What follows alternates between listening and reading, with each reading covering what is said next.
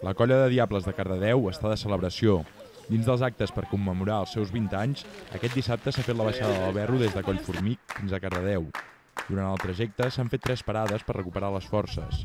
La colla de Diables vol convertir aquesta excursió en una data assenyalada en el calendari.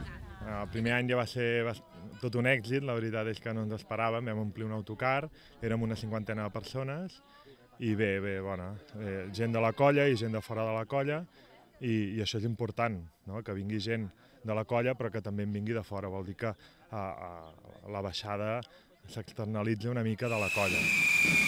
El Berro va anar cap al Montseny divendres al vespre. Després de l'actuació per recrear la marxa del Port Senglar, es va inaugurar també l'exposició al Museu Tomàs Balvell dels 20 anys de Diables de Cardedeu. A la mostra s'hi recullen els seus orígens històrics, els vestits i les activitats d'aquesta entitat.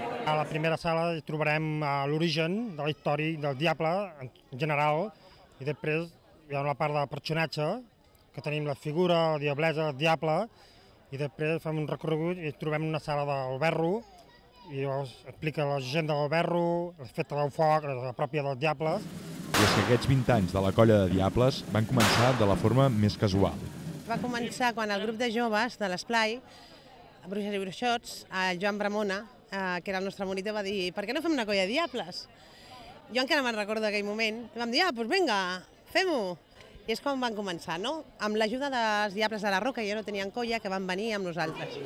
L'exposició dels 20 anys de Diables a Cardedeu es podrà visitar fins al 21 de setembre.